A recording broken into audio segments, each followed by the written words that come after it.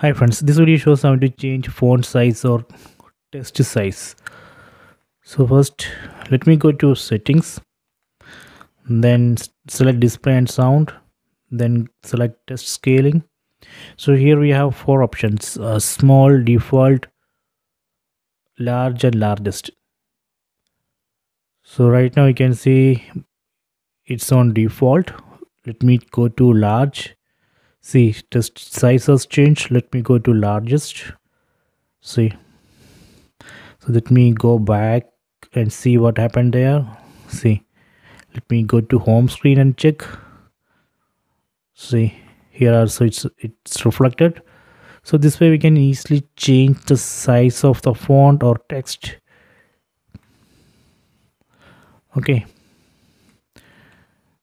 So let me go to text scaling again. I'm going to select default here. Okay done.